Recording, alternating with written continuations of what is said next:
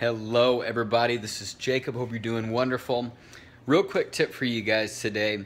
I had an opportunity to spend some time with Garrett, actually, who is a brand new VIP in the team. And that just reminds me of the importance of connectability in your particular organization, no matter how big it is, whether it's brand new, whether it's massive, whether it's one day old, one week old, one month old, one year old, 10 years old, it doesn't matter.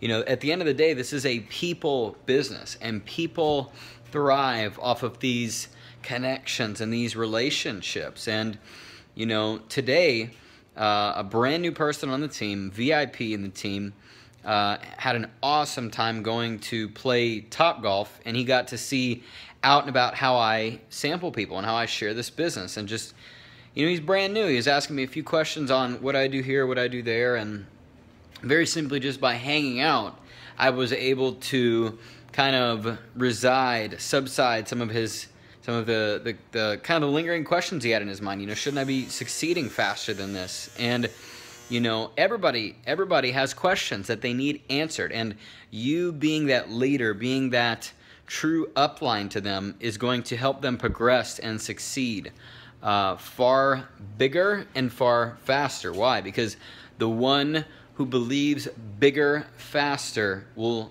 achieve the most. And where do they get that bigger and faster belief? You the upline the leader right?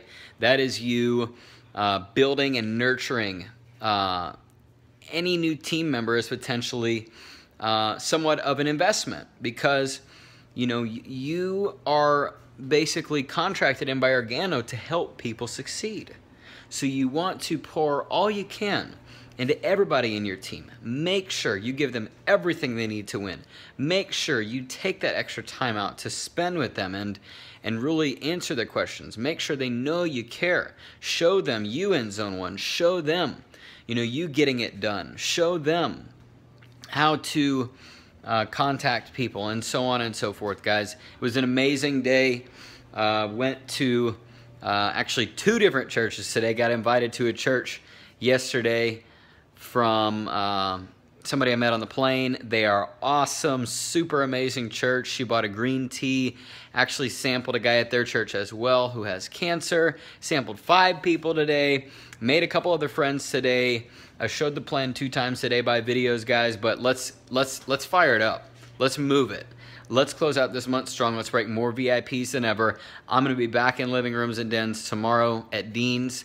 I want to see everybody uh, once again turning it up, turning up the heat. Let's keep it OG. God bless.